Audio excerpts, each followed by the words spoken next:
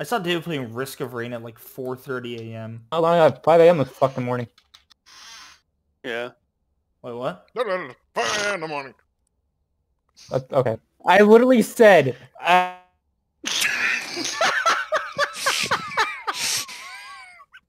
sad. That's so sad.